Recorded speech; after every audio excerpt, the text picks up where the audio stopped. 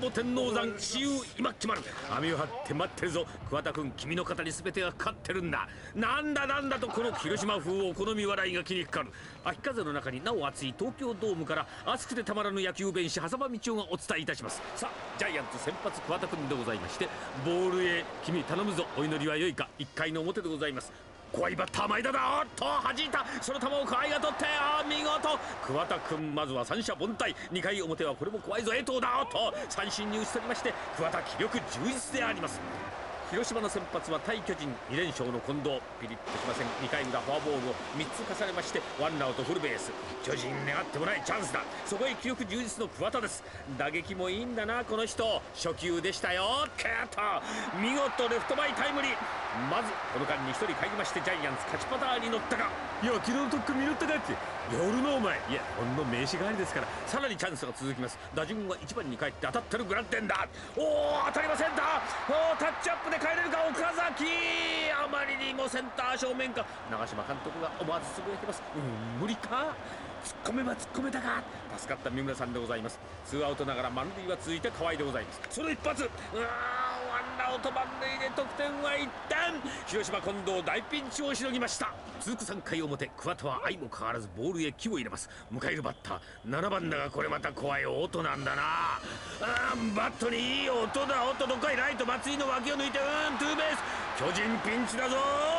その後バッター2人を打ち取りましてトップの野村です。加藤桑田の手元をかいぐっておセンター前タイムリー。うーん。阪神に負けてはきたがさすが2位のチームたちまち1対1の同点となっちまった。まあこういうこともあります。これで天王山は振り出しに戻って4回の表。広島4番8月のヒーロー江藤なんだがああ三塁線フェアかフェアかファールかファールか。ああヒットだよ。江藤は一気にセカンドベースへ。ベンチから長嶋監督が出ました。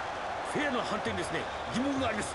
珍しい長山さん直々の抗議でございます、まあ、三塁線ギリギリの当たりをスローで見ても判定は微妙。しかしジャッジは神の声だ。監督まあ一旦は引き上げます。しかし黙っていられない。大事な試合。1年の刑はここにあるんだから。監督再び食い下がります。選手の士気を高めようという演出か親心か。しかし桑田君の肩が冷えていきますよ監督。抗議すること約4分。これが吉と出るか京と出るか天王山勝負の分かれ目か。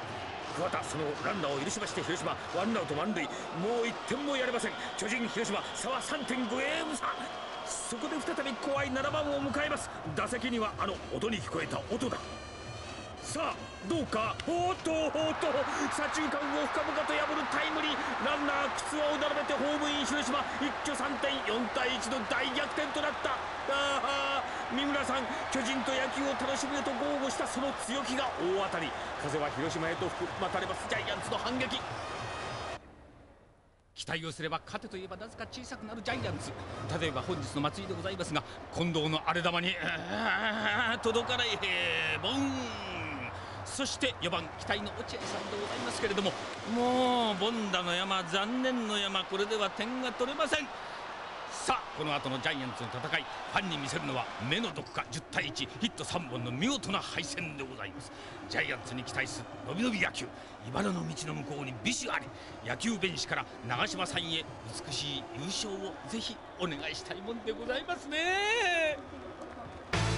今日は何もなしという長嶋監督に対し2.5ゲーム差まで迫った広島三村監督。これからもしっかりしたゲームをしなければと気を引き締め直していました。